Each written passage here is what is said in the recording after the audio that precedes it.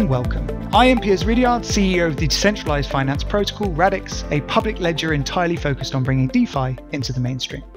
This is our podcast, the DeFi Download, a show about decentralized finance and all things crypto, where we dive into the details of the products, assets, and services that are powering the DeFi revolution. Today, I am joined by Clayton, community lead at Uma. Uma is a DeFi application that allows anyone to build decentralized finance products on chain. Clayton, thank you so much for coming on the show. Hey, Piers. Yeah, thanks. Really great to be here. So, Uma's one of these projects that, like, a lot of people talk about because, um, uh, like, it, in in many interviews I've spoken about, some people like try out their first iteration of the of the product they're trying to build on uh, Uma, and um, like other people have built very successful businesses on it. So it'd be great if just from the context of what Uma is uh, in a, little bit more depth and like what are the successful things that have been built using Uma sort of to date. Absolutely. No, I think that's a great starting point. So Uma is a financial uh, products protocol, financial contracts protocol. And so people are able to build agreements uh, with other people on UMA that revolve around financial outcomes. And so typically the way that that works is somebody's going to lock up some collateral, they're going to agree on terms, and then over that period of time um, until kind of the expiration of that, then um, then at the expiration the, the terms would be sort of settled and the payouts would happen. So that's like a really broad level, and and um, I would say that the range of projects that we've seen be successful on UMA have varied from lending products. So we've had a lot of traction with yield dollars, which are basically just what I described. It would be somebody um, designing a product around borrowing against a particular collateral, um, and then allowing, yeah, allowing you to borrow against it. Maybe you know do do things with the funds elsewhere while you're borrowing, and then there's kind of a resolution, and and then everything goes back to to level. Um, Otherwise, we've seen um, cool uses of our um, market settlement feature, which is basically an Oracle. We have a, an inbuilt Oracle system that is quite novel. It works quite a bit differently than others on the market. Um, Oracle being, you know, just kind of the way that the blockchain learns about real world events. So we have that built into it. And so, like another example of a product that just recently went out was um, Opium sold uh, insurance for the SpaceX rocket launch. And so basically, yeah, so you were able to actually um, either offer insurance and earn a premium or insure uh, the the rocket launch against mission failure based on certain criteria, whether the rocket couldn't take off, et cetera. And so you could see a product like that being useful for someone with a payload on that rocket. And so the role that UMA plays in that case is is like that's a market, and the Oracle system that we have is able to ask the world, "Hey, did the rock like how did it go? How, what happened?" Right, and then put that information back into the system, and then uh, settle those those contracts. So that's kind of a, a a broad answer for you. I don't want to go into like crazy amount of detail with the very first question.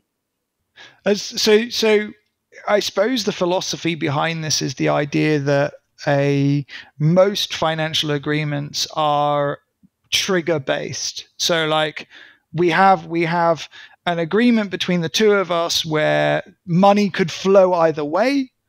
An event occurs, and if that event occurs, then money should then the decision on how much and if and which direction, right? Yeah. Um, and you could describe that as you know sort of futures, forwards, um, you know, any kind of derivative. Uh, th- so there's a large number of ways in which you that that can sort of fall into the camp of financial agreements, right? Yeah, I think that's absolutely absolutely right. Yep. How did that come about? Was was the starting point of the team? Hey, we want to build a particular financial product, and to do that, we need to create a general framework, or was it we want to create a general framework because we think this is going to be really interesting? Sure, sure. Yeah, no, that's that's a cool question, and um, you know the UMA the the acronym stands for Universal Market Access, and so kind of the the long term vision here is the ability to offer permissionless access to any market in the world, and so we started out with this focus on synthetic assets, which basically would allow anyone in the world that can access Ethereum to participate in any market in the world or or gain exposure to any market, right? It's not direct exposure. It's it's what synthetic asset is is it's an asset that tracks the value of an asset on another market.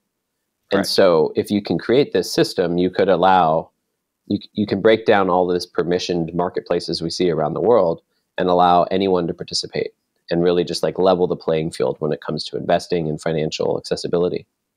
Right. So because like if I'm not in a based in America, buying Tesla stock is really difficult. Exactly. Right? Like, or, and there's lots of people who might want to own it, but getting exposure to it is difficult. That's exactly right. That's exactly right. And of course, there are brokers around the world, but that's complicated, and they also don't service everywhere, and they present their own problems, and they're also, uh, I believe, custodial, um, as opposed to DeFi um, solutions. So that was kind of like the starting point. Um, I would say that we've what was kind of interesting about that development, and this predates my joining the team, but I'm quite familiar with it, is that like we started looking for this Oracle solution, and we didn't really find anything that was that was quite satisfying to what we wanted.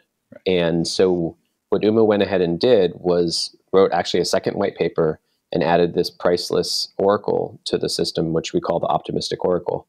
And this was actually something theorized by Vitalik Buterin in 2014. He wrote an essay called SchellingCoin. And um, it's been kind of iterated a few times uh, in different versions over the years, but we've really arrived at something that's worked quite well. We've had, um, you know, in about a year on mainnet and up to over $200 million uh, secured by the, by the contracts. Um, we've had like fewer than 10 to 20 disputes, um, generally not terribly uh, outrageous ones, meaning that like the, the way that the Oracle works, I won't go into super detail right now, but basically it it just creates crypto economic incentives so that everyone behaves like they should. Um, it, and it make, means we don't need to push the price on chain every few moments. Um, so it's actually a lot less costly and it allows for dispute resolution. So right. that was kind of how we got into that part of the business as well. Because I mean that that was like people forget how big a problem set the the Oracle problem like was um, back in 20, 2015, 2016, when Ethereum first started, people started building on Ethereum. Um, and in some ways still is, right? Like the, um, the like the there's strengths and weaknesses of all of these. And like i'd like i'd actually like to dive into this a bit because like any kind of incentive based oracle requires people to want to take the incentive in the first place right? And if there's no one who's willing to take it you don't actually have an oracle feed. But from the point of view of from the point of view of um, the description of a financial contract that we've just described as being like a trigger a trigger based event that decides the flow of money. There's two ways that that can go wrong. Like generally speaking the first is the contract logic doesn't do what it's supposed to. There's some kind of exploit or problem. But the second is that the trigger event like feed is wrong in yep. some way right? Yep. and like if and if i if the amount of money that we're dealing with is a large amount of money and i don't like the fact that it went against me, then I might want to work out a way of making sure that when the oracle comes in and says which way it went, that it says it in my favor, even if the actual real world events weren't in my favor. Yep. Um, which is like always been the thing that people have been like, ah, but this is the Oracle problem. That the off ledger data to on ledger data problem is is is intrinsically the attacking the Oracle might be way less expensive than attacking the contract or the consensus. Yep. Um, so how did you guys solve it? What is what's the UMA Oracle?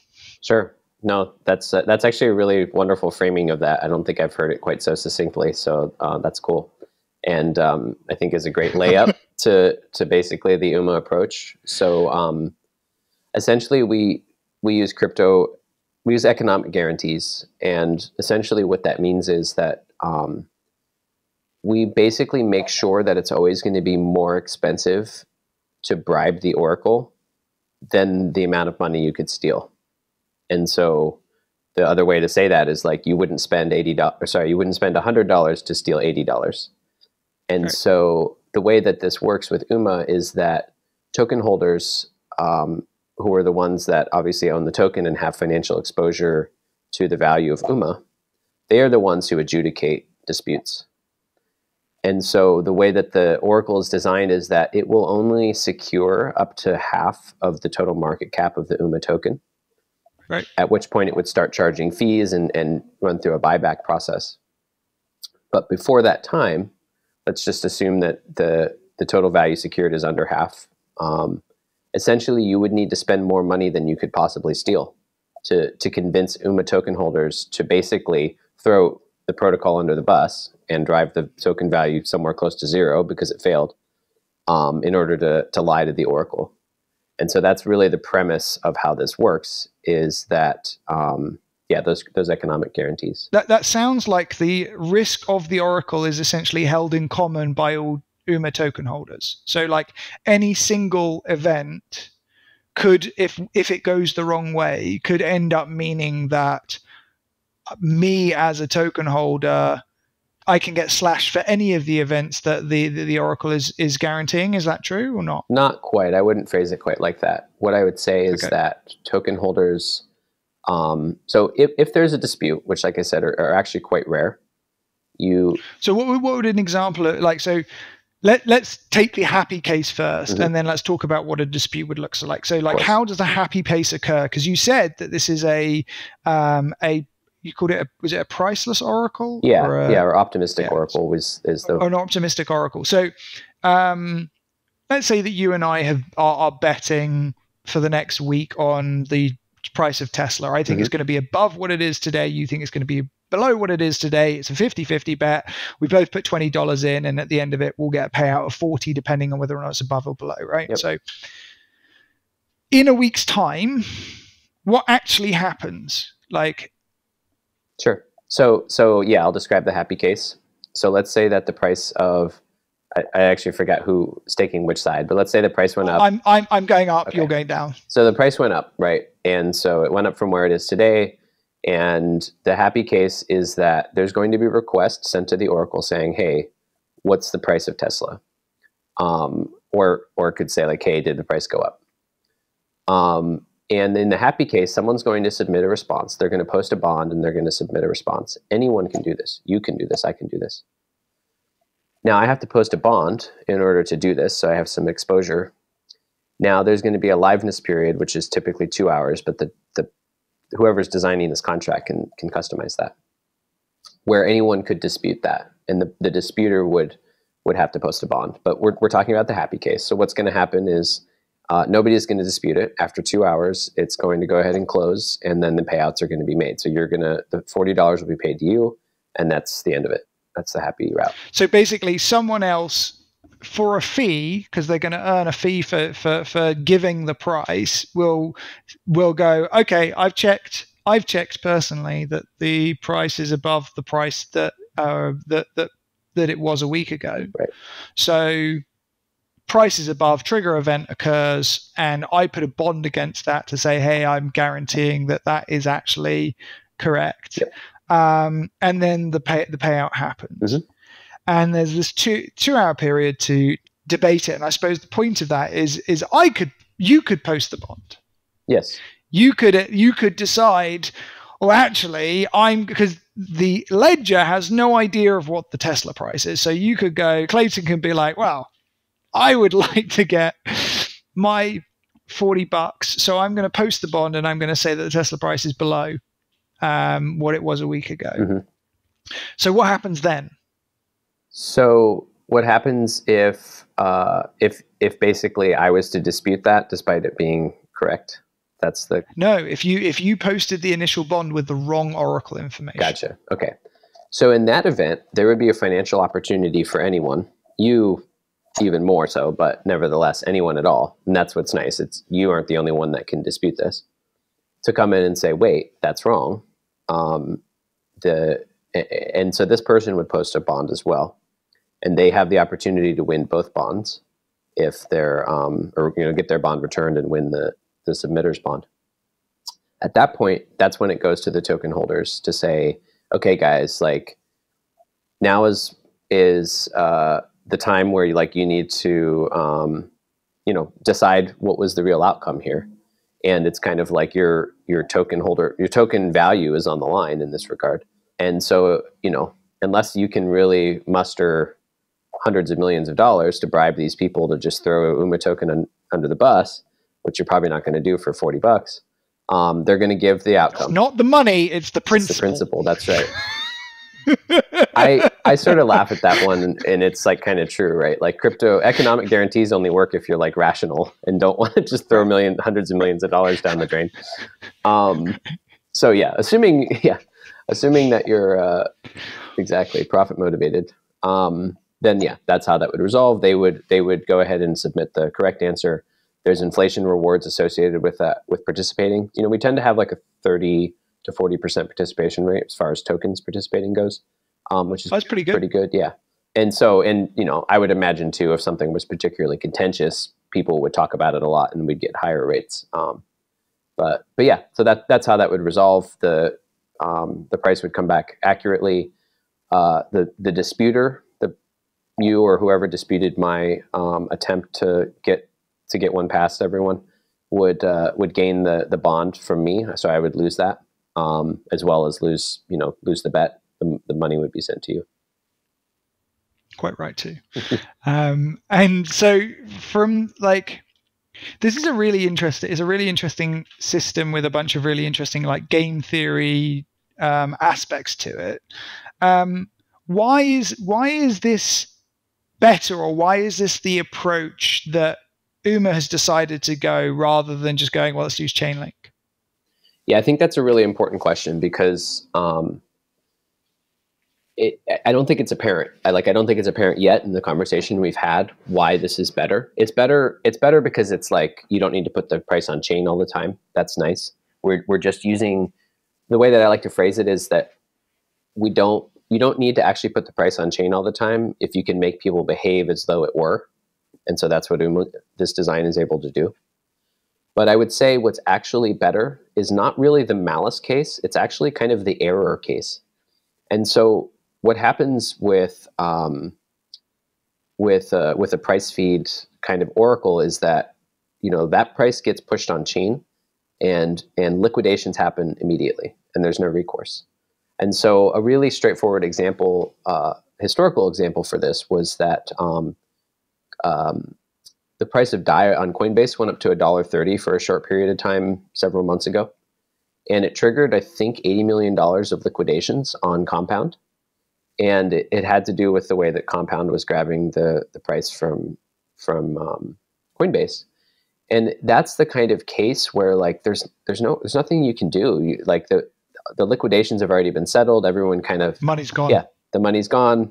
You know, and so that's kind of the case where like we've seen this in traditional finance quite a lot where people make mistakes or things kind of go sideways and wrong and there's recourse and that's actually like yeah we don't like the fact that people can turn back time in traditional finance of course um, and that's something we want to move away from um, but at the same time like there's a really good purpose for being able to do that and so it's really the dispute the dispute resolution and the opportunity that like two hour window. Basically, it's like, hey, here's the piece of information.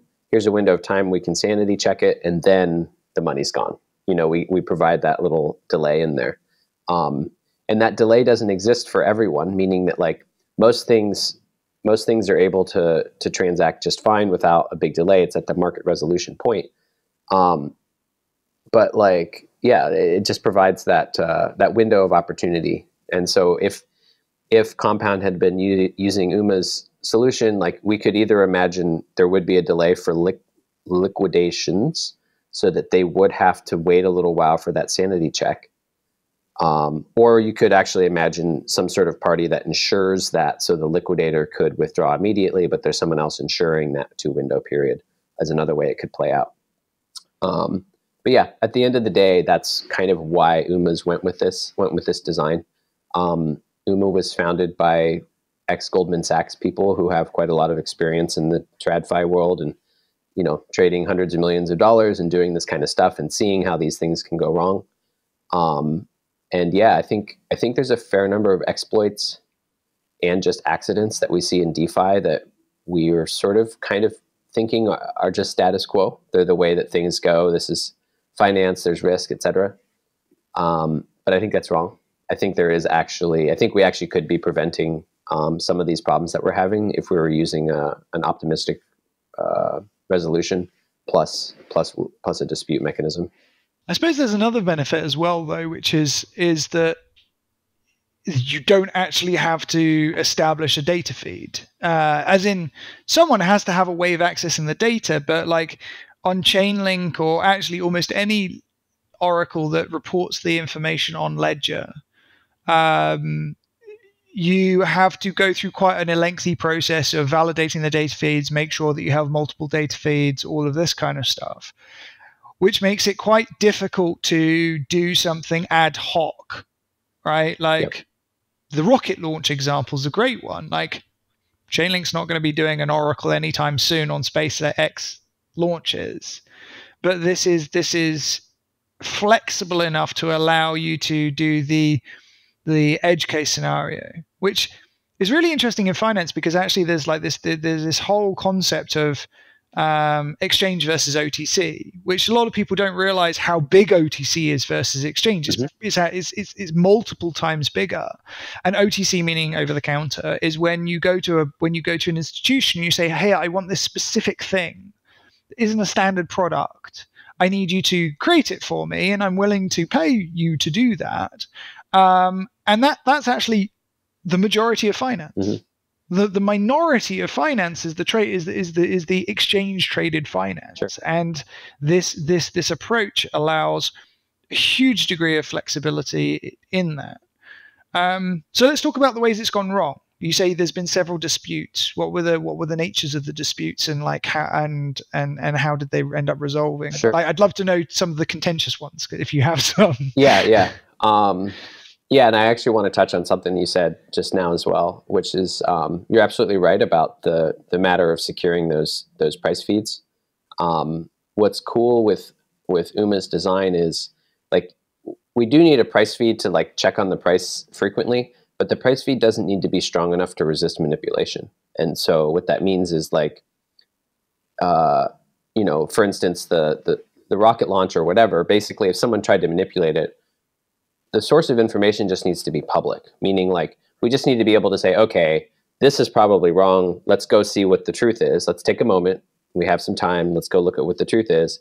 And as long as like as long as there's a real world status to investigate, uh, you know, like physically whether the rocket is, you know, here or there in good shape. Uh, yeah, exactly right. Uh, I think it was successful. Um, I can't see it anymore. yeah, that's that's kind of a funny case actually. Um, uh, so yeah, that that's what I would say is is you're absolutely you, you really nailed kind of a, a, a feature of that. So to get to this contentious, I'll try to think of the most contentious one. But for the most part, actually, I wouldn't say that there have been any that were um, that were like one person saying like, "Oh, you liquidated a million bucks and you shouldn't have." We just really haven't seen that for the most part like I think half of them have just been someone testing, like just seeing if it worked. Like somebody was willing to just throw away a couple bucks to put in a dispute, so we all voted, etc. Um, most of the time, what what we see is just the when there's an expiry, um, you know, and, and to- token holders need to come on there to to issue a um, to to kind of adjudicate the market to say this was the expiration price. But that was even before we switched to the optimistic model. So now we don't even have that token holder vote. We just have one person propose it, and then there's the dispute period. Um, ultimately, I would say that what we did have was like, so, so basically, when you're using these liquidations and disputes system for um, under capital or not under capitalized assets, but for assets that can become under collateralized. Um, you do have bots that are set up to dispute. So that that role I told you about, where you post a bond, you make a dispute. We did have a, like a problem where the bots went a little wonky and like made some disputes when they shouldn't have, and that was just right. like you know that's kind of just like well we're we're, we're not following our own economic incentives at that point, right? Because we're paying money when clearly the answer was not wrong, but we're saying it's wrong, and so like that was that happened. Um, but we really haven't had any like big fights or any big you know people um, uh, questioning whether there was a liquidation, you know, and we've had, you know, several hundred thousand dollars liquidations at different times. Um, and you know, it's just what happens when you're borrowing assets and the value of your collateral falls. And so we don't have people showing up and getting upset about it or otherwise disputing it. Um, the economic guarantees really have worked the way you would have expected them to thus far. Sorry, there's not a more exciting answer though. How how dull a system that works. Um, a uh, one of the things that strikes me, and like, I suppose it's not it's it's like Uma's been around for a while, right? When did you guys start? Well, we went on mainnet um, just a little bit over a year ago, but they were kind of in the R and D phase for two years before that. Um, right. Yeah. Right. And and so there was this there was this um, when when DeFi first started, or when like finance on Ethereum first started. Let's not call it DeFi. The, most of the ways in which you modeled financial products was was just a direct copy of what you got in the traditional finance like setting you just be like okay it is discrete financial products with a one-to-one relationship between two counterparties right? Uh, or two or several counterparties. Whereas what defi has become in my view is this concept of aggregated or pooled risk. Again, so it's it's a one to many relationship where i am a liquidity provider in a pool on compound Aave uniswap that finds a market price for that risk as a result of the pooling mechanic and the demand for use of those assets. That this model seems to not work quite so well for like this idea of like pooled financial products with a market based risk against you know for for like repeatable products um like, would you say that's true, or or is there something? Is there an extra aspect to this that I'm missing?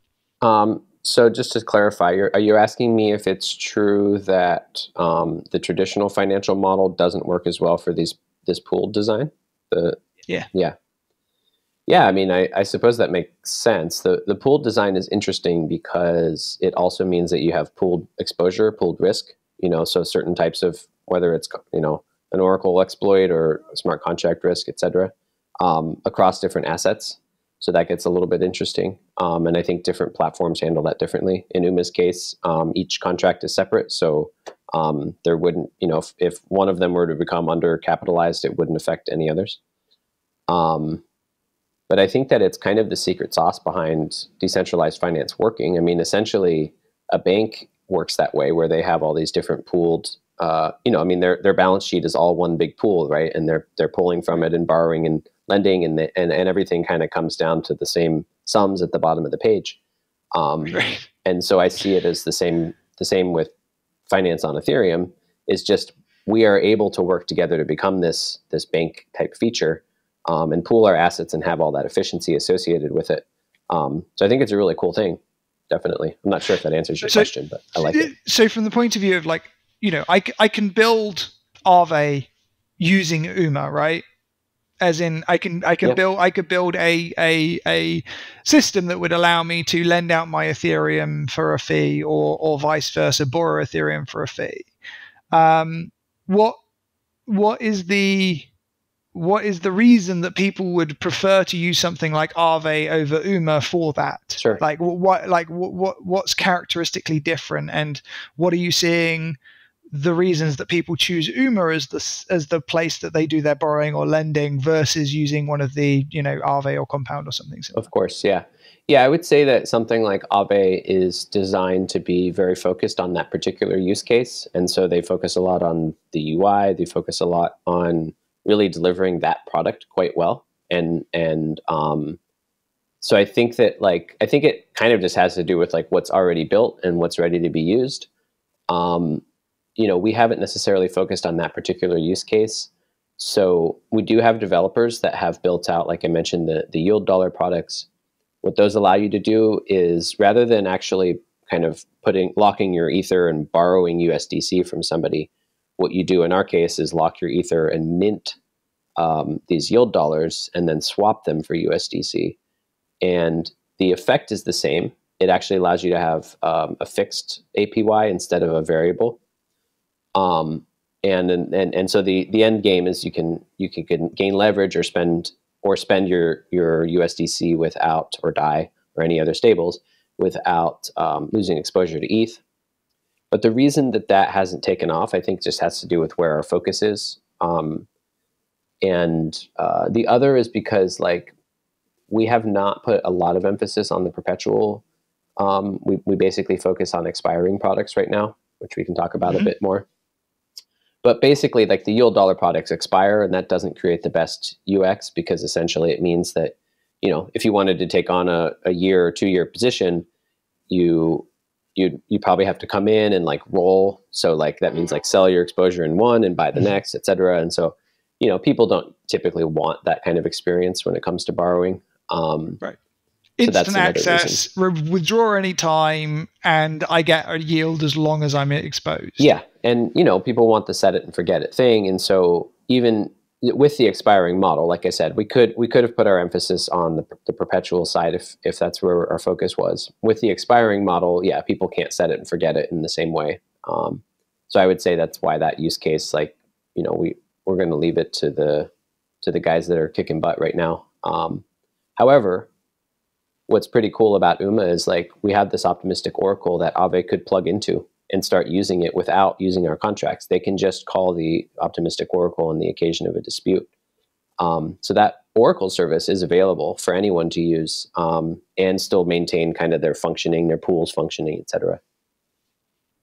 So who is who is currently using the optimistic Oracle service in DeFi? So the first one that I mentioned was Opium um, that that did with that the rocket launch product. Um, then we have like a number of partners that are building on us right now. Can I just ask why? Was it a mar- like sounds like a marketing stunt for just like demonstrating what their product is, but sure. because but like what what is their actual product? Well, so Opium offers insurance and options. Um, a lot of yeah, insurance project products. Um, so like the actual motivation for it was to offer an insurance product that doesn't really exist, or I think it exists at a different rate. I think you can actually insure it, but um, to some degree, yeah, it's just cool. Like it's really cool. Like think about this, Piers. Like I can sell insurance on a rocket launch. Like it's not even just like oh, I can buy place a bet on a rocket launch or something like that. Like I went from being forced to buy insurance on my car to being allowed to sell insurance on a rocket ship.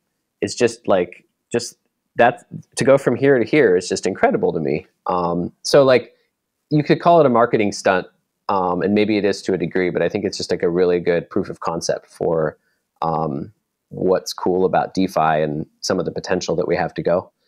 Now, in an ideal world, the guys with payloads with those satellites would buy that insurance, right? They would use it to help hedge their risk.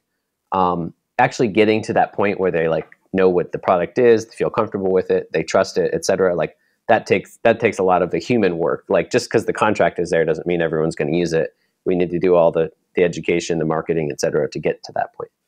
Um, so I would say it's a mix, both things, to answer your question. Yeah, it is really interesting. Yeah.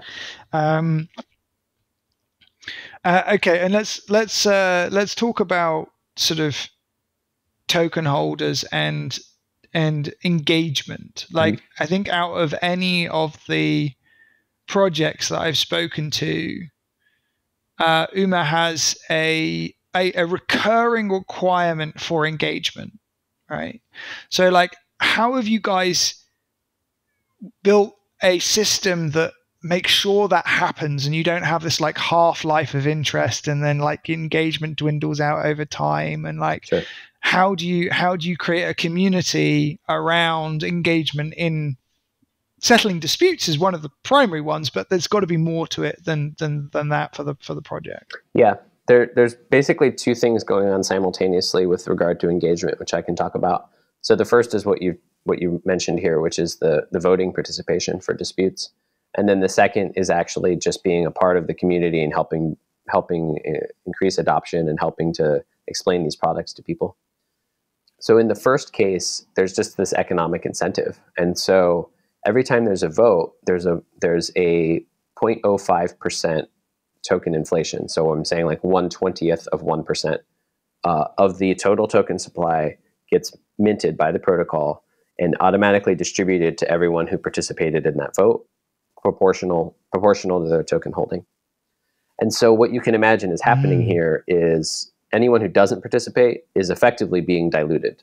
And so they right. it, it's as much you know it's as much a carrot as a stick um, to where right. yeah it's really meant to be like hey the purpose of this token is not for you to like watch number go up or worry about that it's it's to to actually participate and so um, that's that's kind of a motivator right so like if if you if you had a lot of them you would want to participate and make sure that that wasn't happening to you um, so I think that that helps a lot, right? There is that that piece of it, and we we do also offer gas rebates. Incidentally, like we every month we pay out comp, uh, anyone who's who voted successfully. Um, we compensate them for their gas because it is on chain voting, and gas fees, of course, can get insane, um, and that would disproportionately hurt smaller holders. So we did we did want to prevent that happening. Um, so that's one way, you know, and then it, it, but it takes some work, Piers. I mean, it's it's like you know we put out announcements we try to remind people that there's votes you know people are busy and so it's it is interesting in the long run the tokens are going to have to slowly flow towards people who have whatever it takes to be participating members because they're the ones who experience the most value from it it's not terribly i mean you like but the thing i would in my mind instantly goes to is two things first is i would build i would want to build some kind of script that like voted for me sure. and the second is that's difficult because every single vote could be on a completely different thing. Um, so gathering the right information for it could be difficult. Sure. Um, and of course, like we wouldn't want it to get too automated because the purpose is that when there's a dispute, you take a look at it. Um, right. Disputes are getting very rare. So um, because of the optimistic design, or sorry, they've always been rare, but the actual uh, requirement to vote in a price expiry is getting rarer and rarer. Otherwise, what we also vote on is like adding new collaterals, adding new price identifiers, um, changing the protocol. All of those things require a vote as well. Um, so yeah, you would want to automate it, but at the end of the day, like we do want, we at least want that feature to be there, whereby like it's almost like yeah, things are kind of running as expected. You can kind of come vote and just chat with people and find out what the vote is supposed to be but we want to make sure people are engaged enough that it's like, hey, this is a real thing. We, we really need to sit down and figure out what went on here and sort it. And so, like, it's important that people aren't literally turning on a script and like never seeing anything about it, right? Like, um, and we've, you know, the design is to prevent that. Uh, right, right. And the only time that you're supposed to vote is when there's a dispute. Yeah, or one of these upgrades oh, one of these upgrades, and you're saying, you know, th- 30 to 40% vote participation over over how many votes is that? Oh, we've had hundreds of votes. Um, well, so so uh, sorry. Like a lot of what we do is with like the upgrades, for example, we we bundle them uh, one time per week essentially, and so okay. we typically have a vote per week in that way, and then there can be a dispute at any time. Um, but that, like I said, those are pretty rare. So you could say on average one a week or maybe um, maybe five a month at this point. That's really that's really interesting. Uh, and then on the other side, like you, you, one of the things you were mentioning to me before was uh, DAO treasury management. Yeah. I, would love to hear a bit more about that because it's a hot topic right now. Yeah, absolutely. So just to connect it back to what we were talking about before, right? Like with the with the idea of financial contracts. So we have you know, we have this idea of a trigger, we have these different parties that want to get together and make this deal.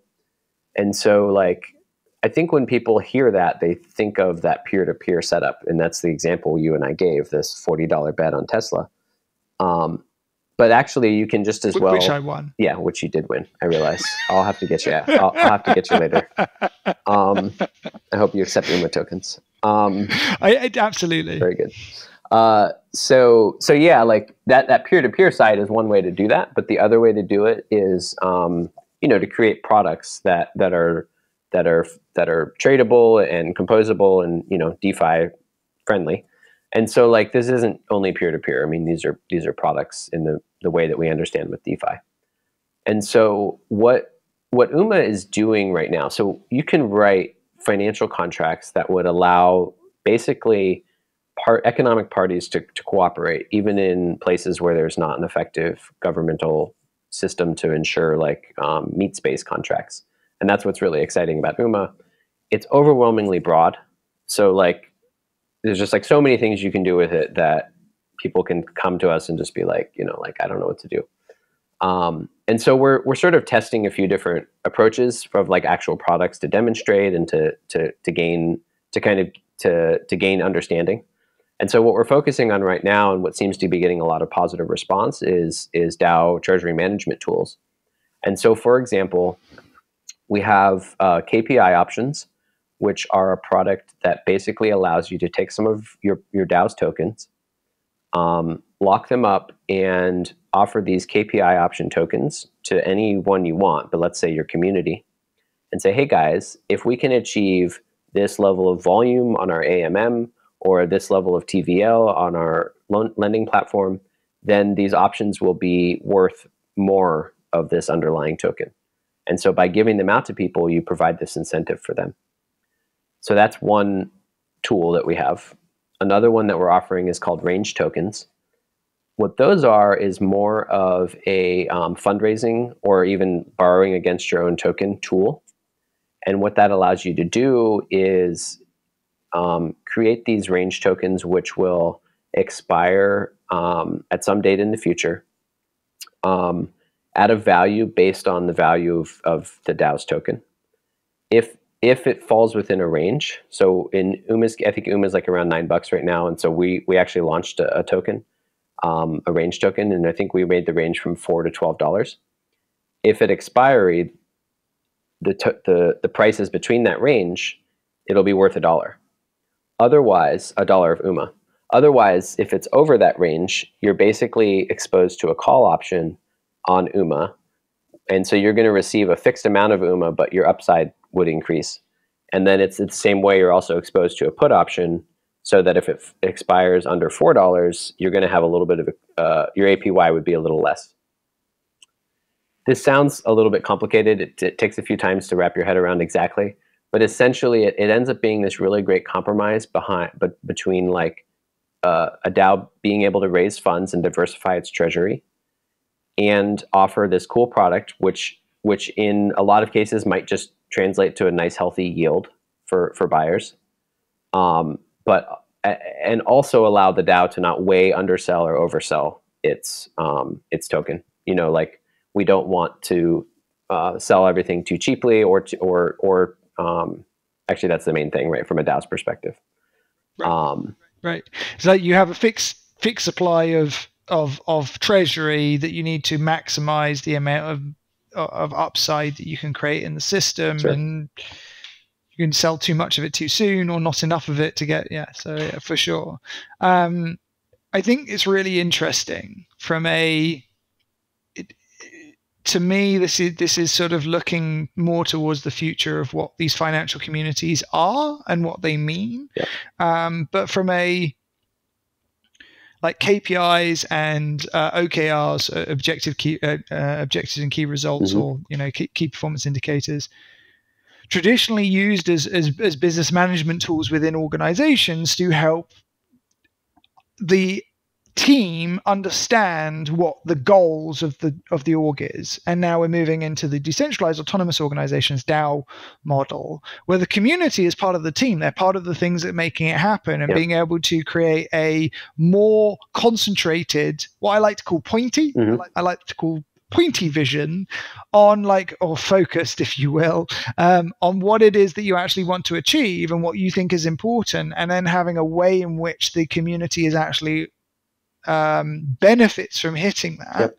I think is definitely where we're going. It's uh, it, it's a really interesting, it's really interesting. Again, really interesting game theory yep. idea of how to create incentivized communities around the, uh, the the objectives of a of a, of a, of a group of people. Yep. So um, it's been wonderful having you, Clayton. If people want to learn more about Uma, um, where do they go?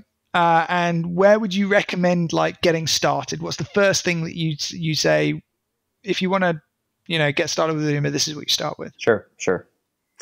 I mean, it's hard for me not to just say that come and chat with us. Like the Discord is really where everything's happening. Um, okay. So discord.umaproject.org will take you there. Okay. Um, there's a few different routes to get started. Like we have this KPI option program has led to a group of what we call super umans, who are the ones that are hustling to make this KPI get hit. You can join us there and earn pretty sizable upside, to be honest. I won't just say what that is here, but it's pretty impressive. Um, yeah. Uh, you could also just want to participate as a buyer, like you could participate in gaining exposure to some of the synthetic assets and the different products available. Um, or you can be a builder and you want to come build something neat with UMA, um, all of which is welcome. I'm proud to say that I think we have something cool for everyone to do. So anyone listening to this that says like, "Oh, I'm not a developer, I'm not an investor, whatever," actually, if you show up, like you're going to find something cool to do. If you want to hang out, uh, hang out with uh, passionate nerds, UMA's the place to do it. Clayton, it's been a pleasure. Thank you so much for coming on the show. Yeah, thanks, Piers. It was great.